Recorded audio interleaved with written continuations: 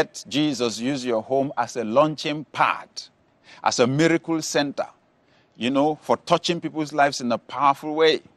We have loads of people in our church that offer their homes like that. Some people, some people thought their home was small. Some even thought, well, it's just one room. But when they yielded it to Jesus, God used it. God used it.